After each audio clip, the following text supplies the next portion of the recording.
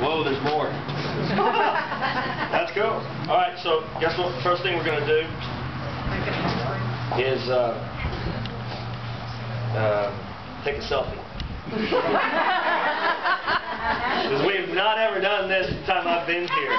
So, by all means, this is definitely going on social media. so, let's see. Let me get the. Where am I at? Oh, I gotta turn it around. Selfie. Selfie. Hold on. Come in. Watch your. I'm glad you got my back. All right. Hey. Awesome. You gotta tag us all in that. Uh, uh, what? Tag y'all in it?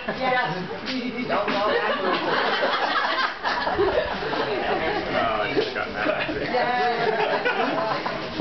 What do you do, man? I mean, uh, you know, uh, uh, I, I love I love how God still answers prayer, and uh, this is still this is still the day the Lord has made, and we we I, I think sometimes when we're put in this position, we really kind of have to intentionally purpose to say, you know what, Dad, God, I'm going to praise the Lord anyway, in spite of what's coming my way, and so I I hope that's what we do today. Okay, so uh, we're going to go ahead and. Uh, we're going to go ahead and uh, uh, receive our offering now. Um, just get that over with and, and go from there. And uh, you guys are crammed in there like sardines, so if you need to stand up to get your wallet out or checkbook out or reach over to get your purse, by all means, uh, take your time. Um, We'll wait on you. We'll, he'll wait. Definitely, definitely will wait. So, um, you know, we, we, we do receive an offering, and we don't apologize for receiving an offering because this is what the Lord commands us to do, is to trust Him with our, with our funds, with our finances, and He asks for a 10%. And it's not because He's greedy, it's because He wants you to believe that He can take the other 90% and use it to meet all of your needs. right. And with that 10%, be able to fund the ministry and the mission that goes out. Uh, so I hope that you will uh, use this. By the way, this is the first Fruits uh, Sunday. Uh, by the way, just so you know, um, that said, back in uh, November, we uh, we began a campaign. It was a short-term finance campaign. We were going to see about getting our note, uh, our mortgage on this property paid down low enough so that whenever we refinanced, um, that it would be under $400,000. Just so you know, we began five years ago with a $473,000 note. Okay? And so to get it under $400,000 was going to take a little bit of an effort. We did it. By the grace of God and because of the faithfulness of His people, whenever we uh, work through the refinance process, we will refinance under $400,000. And that's to the glory of God. That's, that's, that's just God being good and showing off through His people. So thank you. Thank you for being faithful. Um, uh, that's just that's just the importance of it. Okay. So let, let's pray. Hey, Hey, money. how are you? How can the lights won't turn on? The electricity's out. That's why we're out here. Yep. So, hey, we're gonna pray and take an offering, okay? All right. You, you, you, you cool with that? Yeah. All right. Let's pray. All right. Father God, you are faithful, and today, Lord, we just praise you because uh, you have shown us time and time and time again about how you are faithful. So, Lord, I pray, God, would you uh, would you use this time, dear God, as an attitude of worship? May we glorify your name. May we praise you and honor you. And Lord, may this be to the sake of your kingdom. And Lord, because of this receiving of offering, Lord, may it fund the mission of this church, dear God. Not just this local church, but the church international. That we would see hearts and souls won for Christ. And we praise you and we say all this in the name of Jesus. Everybody said, Amen. all right. So while the offering plates are passing by, and you're digging deep, I'm kidding. Uh, I want to, I want to, um, I want to just point out a couple things. If you have your bulletin, you'll notice inside. Um, uh, it was supposed to be a VBS celebration, and we have this really nice, cool stage set up and display that you're not going to get to see because the electricity's out. I mean, I've got a flashlight. I'll go get it, and you can shine it on there, and you can look at it. Yeah. Um, when- when's electricity gonna come back on? I don't know. I hope it comes on pretty quick. Yeah. Yeah. So, but I'm, I'm gonna preach right now, okay? Okay? Yeah. You sure? Yeah. Um, so that said, what we're going to do is, is instead of trying to honor our VBS service and everything that they learned, we're going to put it off a week because we want to do it right and do it well. Okay? So so next week, all you kids that are here because of VBS today, you thought we were going to do it today. I'm sorry. I didn't do it on purpose. Okay? So we will we will we will do it next week, and I promise. I'll tell you what. We'll make it worth your while if you'll come back next week. All right? You cool with that? Yeah. All right. Well, Do- the Sunday school room during Sunday school, so we have the chance to go back af- after the. Yeah, yeah. So, so next week Sunday school, you'll meet and you'll you'll go over everything. You'll go over the verses. You'll go over the songs. You'll go over everything, and that way it kind of refreshes your mind and memory and everything. Okay, is that cool? Good. All right. Good. All right. Um, okay, you got uh, you got announcements inside your bulletin. If you if you want to stop fanning yourself long enough to to just take a quick look, you'll see what's going on. Uh, Wednesday afternoons, 4:30, we're doing a, a casual conversation through Romans, and I'm finding out that it's not a casual conversation; it's absolute confrontation with me. Uh, uh, not you with me, but God with me speaking through Romans is really pretty powerful stuff. So if you're not able to make the 4:30, then just say so. Hey, I'd like to come, but I can't make 4:30. Is there another time we can do it? We'll figure it out. We'll, we'll make another time slot for that. I didn't ask. Uh, so anyway, you'll see other things that are going on August 12th, August 19th. Um, missionary books are going to be here on uh, August 13th. Yeah. So cool stuff. Um, I want to I want to real quickly before we jump. We're gonna. I, I'm, I'm not going to be long-winded because what I had planned to say to you today, I'm actually going to put it off a week as well.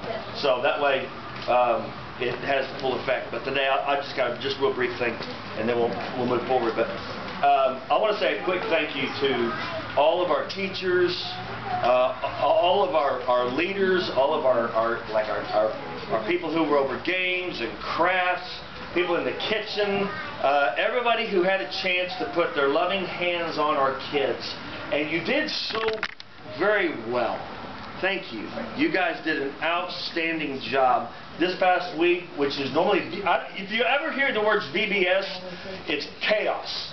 It's confusion. It's utter. And in the midst of all that, it was amazing and it was fun and our kids had a great time and the cohesiveness of everything was just like a champ, just like this. And so it was a great week and I, I thank you for everybody that helped out. Thank you, thank you, thank you.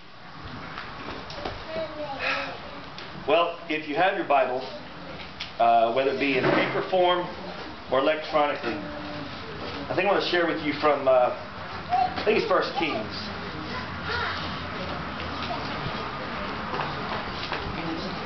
I'm sorry, First Kings chapter 17. I'm not going to be very long, uh, I promise. It's, it's going to be kind of early. Um, because I'd love for you to be able to stay cool, and the wind is blowing, and I'm grateful for that, but I just assume you not be miserable, okay? So, um, so 1 Kings chapter 17. I'm gonna I'm gonna read. It's kind of a kind of uh, actually I take it back. It's 18. I'll get it right. First First Kings chapter 18. Let's see if I can find the spot. Um, okay. So if if you're looking at chapter 18, here's here's the long story of what what the story starts out with. Um, there's a man named Elijah who is a prophet. He's a man of God, and uh, Israel is uh, is kind of just in upheaval. It's kind of eating itself alive, and in so doing, there's a King Ahab who's not a very nice guy, who uh, is now allowing other other gods besides the true God to be worshipped, and he himself is involved in that, and his wife is a huge fan of the god Baal. And uh, and what you'll find if you look down through this chapter is that Elijah is invited to a confrontation, and Elijah then turns the confrontation into a contest. And uh, so let me see if I can find where we want to start reading, and then we'll we'll jump in um, and go from there. Uh, start verse 16. Um, so Obadiah went to tell Ahab that Elijah had come, and Ahab went out to meet Elijah. When Ahab saw him, he exclaimed, So is it really you, you troublemaker of Israel? I have made no trouble for Israel, Elijah replied. You and your family are the troublemakers. For you have refused to obey the commands of the Lord and have worshipped the images of Baal instead. Now, and here's the here's the here's the gauntlet that he throws down. He says, Now summon all Israel to join me at Mount Carmel, along with the 450 prophets of Baal and the 400 prophets of Asherah who are supposed supported by Jezebel. So Ahab summoned all the people of Israel and the prophets to Mount Carmel. Then Elijah stood in front of them and said, How much longer will you waver, hobbling between two opinions? If the Lord is God, follow him. But if Baal is God, then follow him. But the people were completely silent. Then Elijah said to them, I am the only prophet of the Lord who is left, but Baal has 450 prophets. Now bring two bulls. Here's the contest. Now bring two bulls. The prophets of Baal may choose whichever one they wish and cut it into pieces and lay it on the wood of their altar, but without setting fire to it. I will prepare the tar, I'm sorry, I will prepare the other bull and lay it on the wood of the altar, but not set fire to it. Then call on the name of your God, and I will call on the name of the Lord. God who answers by setting fire to the wood is the true God. And all the people agreed. Then Elijah said to the prophets of Baal, You go first, for there are many of you. Choose one of the bulls and prepare it and call the name of the Lord your God, but do not set fire to the wood. So what you find beginning verse 26, going on down, uh, you find that the prophets of Baal, they do just that. They begin to pray to Baal and pray to Baal and pray to Baal, and they're, they're loud and they're wailing and they're just getting after it, you know, and just praying crazy loud. But of course, Baal is a fake God. Good, thank you. Um, and in being a fake God, what happens is is that nothing happens, right? It's like, almighty music stand, would you please set the, right? It had that effect. There's nothing to it. And so what happens is is that Elijah begins to pick on him, and he eggs him on. Says, Maybe you're not praying loud enough. Maybe he's asleep. Maybe he's on vacation. And so then the prophets of Baal begin to cut themselves to show to Baal, the stick god, hey, we mean business. And of course, the Baal god isn't paying attention because he what? Fake. And so what happens is that Elijah says, okay, fine, it's my turn. And then he goes and he rebuilds the altar. And he puts uh, puts the bull on top of the altar and he cuts it up, puts the bull on top of the altar. And then he says, and then he digs a moat around the bull. A ditch, okay?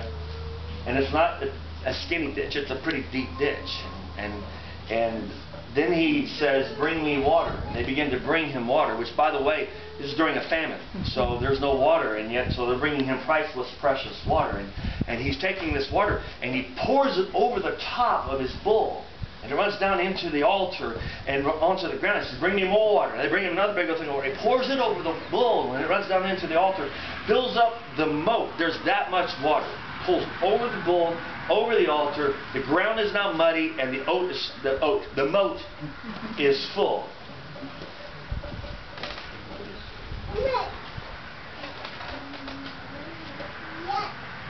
And it was in that time when he began to pray, and I want to share with you what he prays.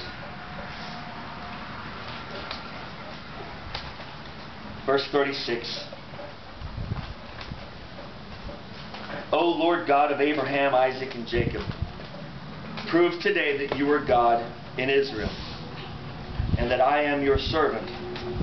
Prove that I have done all this at your command. O Lord, answer me. Answer me so these people will know that you, O Lord, are God, and that you have brought them back to your side. Have you ever been in a situation or scenario where it feels like your very best efforts are being swamped with water? It's like nothing seems to go right.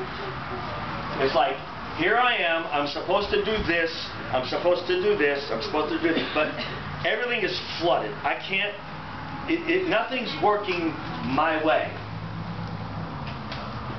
And this morning, not going to lie, I was kind of feeling like, um, like the people watching Elijah. Not necessarily Elijah. Elijah knew what he was doing, but I'm like going, what are you doing? We get here. I get here to the church this morning, and you know our power situation is what it is. Um, I find out that one or two of you have uh, situations going on at home, whether it be um, Hayden's got a kidney stone, trying to pass a kidney stone. It's passed. Woohoo! Uh, but nonetheless, he, he couldn't be here, and it's going to be kind of a big deal. It's Vacation Bible School Day. We wanted to have a great day so that our people could really dote on our kids and show off for you. And I had lots of great things to do, and it was going to be a great day, and no power, man. It kind of bums me out. My wife calls me and says that she cut her finger and she had to go get stitches. And so I'm like going, man, when does it end? And I really felt like as I was looking on to the day, here's my sacrifice being flooded with water. Here's, here's my story, and it's just being totally cut. God can't show up in this. And it's a very common thing for us, I think, sometimes. Whenever, whenever we face a story of confrontation, and uh, maybe we're putting out the very best efforts we can put out. Maybe we can, we, we're, we're, we're trying to make things work. You know, um, I want to make this go forward. You know, I'm putting out the effort. I'm doing everything. I love this one. I've done everything right, but I'm not getting the results I, I expected to get. Why is the deal? Why is that? And there's a part of this that it's not necessarily what Elijah prayed, but it's really how he prayed it that I think strikes me. And, and, and I think what I see him saying is, in the midst of this, would you prove that you are God? In the midst of this, would you come shine down into my story?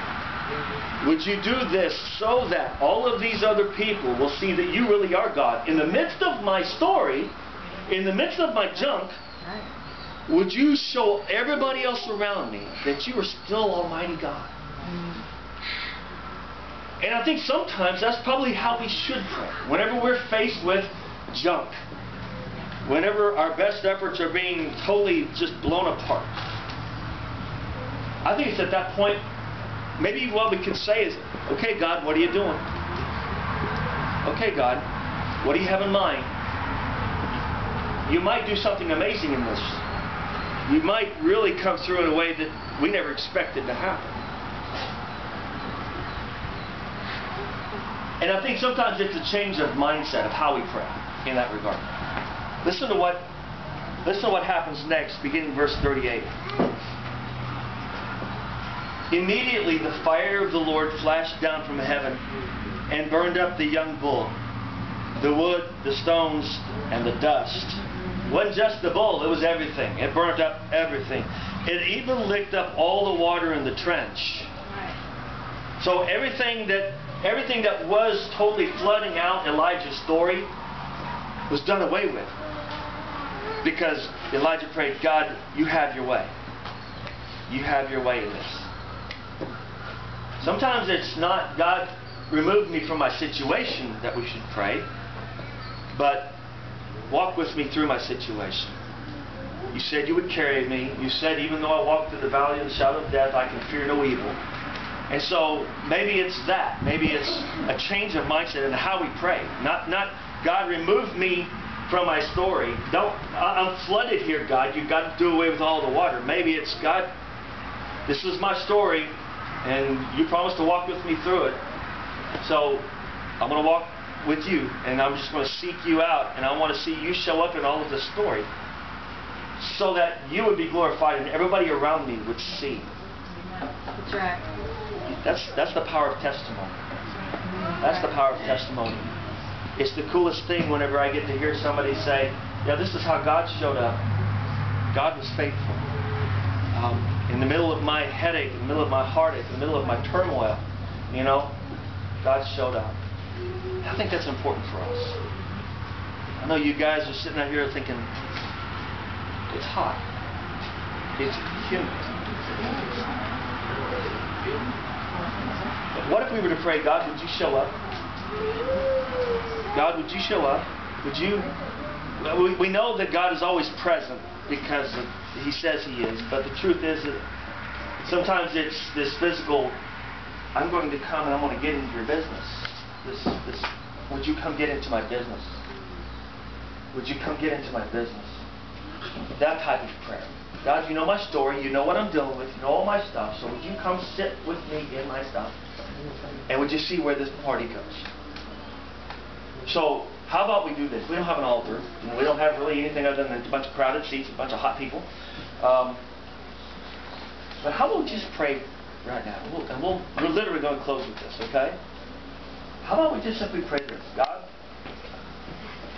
you know where I'm at. You know what's going on in my story. You know my, you know what's flooding me over. You know what is absolutely bowling me over. It might be finances, it might be relationships, it might be health situations, it might be job, it might be just stress and anxiety. Who knows what it is? But the, the, the fact of the matter is, is that sometimes we spend more time praying, God, take me out of my junk, instead of God, walk with me through my junk.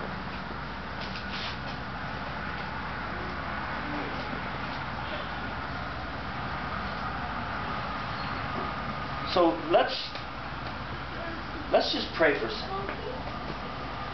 Father God in heaven, every one of us in this place, we came into this uh, into this property uh, for the purpose of joining together as the community of Christ, a body of believers. And Lord, we come with different stories, with different situations and scenarios. Lord, in all of this, Lord, we have oftentimes prayed, God, remove me from my junk.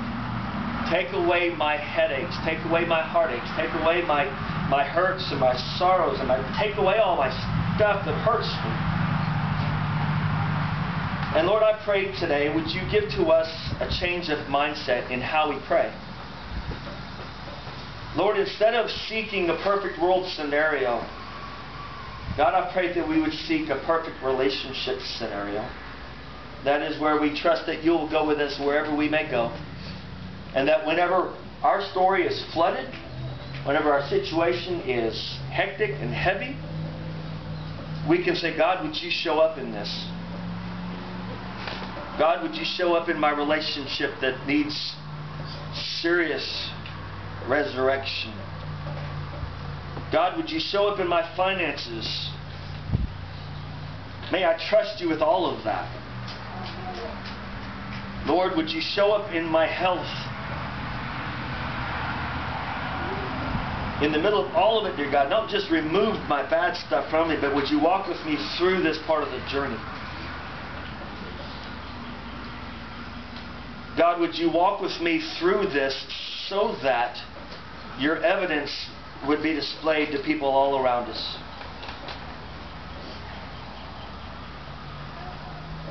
Father, because all around us are people who need to know the hope of Christ. And, and Lord, in, in my stuff, in my junk, in my story, Lord, I pray would you be glorified so that people around me will see you. And Lord, what I know is that whenever I trust you, just like Elijah, when I trust you with my stuff, instead of asking you to remove my headaches and heartaches, I just say, show up my heartaches and my headaches. What happens is, is that you make my headaches go away, just like the water went away out of the moat going around Elijah's altar. And suddenly they don't hurt like they did before. So, Father God, I pray. Um, may we change how we pray. Not just to remove us from our uh, our, our bad situation or to remove the, the heartache from us, but may we begin to pray more fervently. Father, would you walk with me on good days and on bad days? And in so doing, would you be glorified so that everybody around me sees you? For in Jesus' name I pray. Amen.